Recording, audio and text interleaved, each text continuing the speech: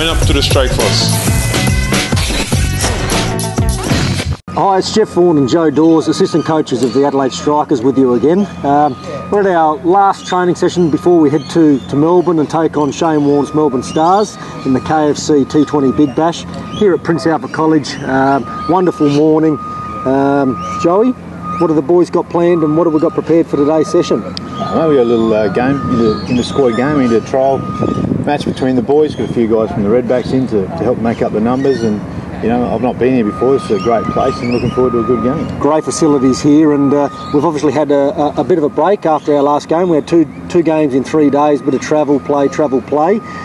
Five days off. What have the boys been up to? Tell our uh, wonderful supporters what the boys have been doing the last little break. Well, we got a few. We snuck a few days off, but the boys had club cricket on the weekend, so they got two days of club cricket. Uh, those that didn't play club cricket, we had a training session on Sunday, so they've been busy. Been able to sort of wind down a little bit, but still busy. Um, bit of gym work with Rigsy, and then back into it today. The Boys had uh, had some good performances in grade cricket on the weekend. We're going into our last pool game against Shane Warne's Melbourne Stars. Yep. Tell our wonderful supporters what we need to do to uh, to ensure we get a place in the semi-finals. Well, we've you know we've done the numbers, and we have to. Uh, score 27 more runs than they do if we if we bat first, and then if we bat second, we got to chase them down in uh, 16.5 overs. So the beauty is we know what we have to do. There's no sort of other variations can creep in over that, and if we go out there and execute our game plan and whack Warnie over the fence a couple of times, we're we're off to Perth for a semi-final. And when we have played well, we've had big wins in that vicinity. Yeah, absolutely. Obviously, we give the Renegades a good touch up and went up to Brisbane and give the Heat a bit of a touch up, which was quite pleasing for some of us. So uh, all around, you know, when we put it together, we're a good cricket team, and you know, it's been our downfall. We probably haven't put it together as much as we'd like.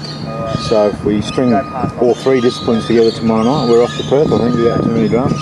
Support for the Blue Army has been fantastic. 27, 28,000 people at Adelaide Oval. You've experienced it for the first time. Tell us your thoughts. Uh, brilliant. Great fun, great atmosphere. You know, I know from, from us as staff and, and the players thoroughly uh, appreciate the support they've been getting from the Blue Army and you know, I had two nieces down that were part of the uh, Guard of Honour the other day.